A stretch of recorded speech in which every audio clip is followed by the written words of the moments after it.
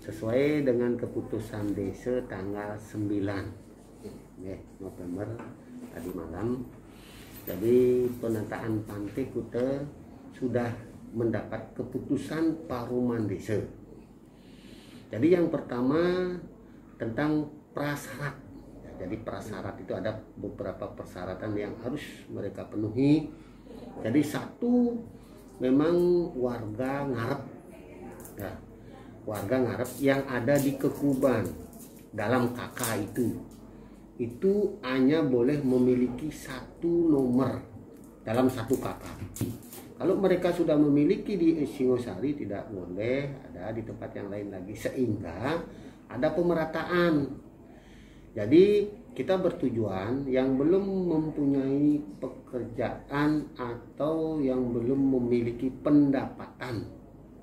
Jadi boleh mengajukan permohonan ke masing-masing banjar nanti akan dicek. Nah nanti kakaknya apa mereka sudah memiliki atau belum. Kalau memang betul belum e, memiliki pendapatan itu menjadi prioritas.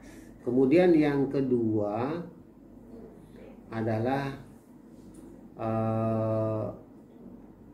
pemilik nomor yang ada sekarang di pantai itu yang diutamakan jadi khusus Pantai Demun yang diutamakan adalah pemilik nomor. Jadi itu yang nanti eh, tercatat.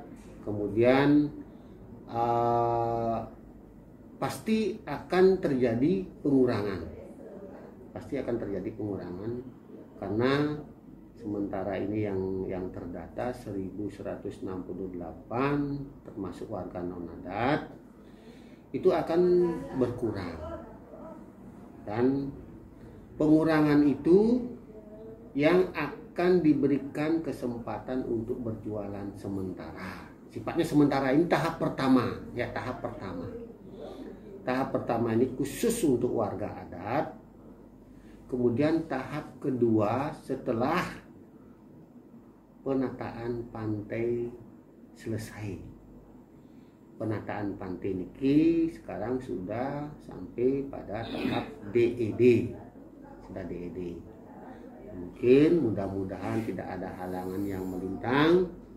Tahun 2021 ini ya harapan kami walaupun ada pertengahan atau akhir yang jelas eh, kami berharap 2021 sudah mulai pengerjaan.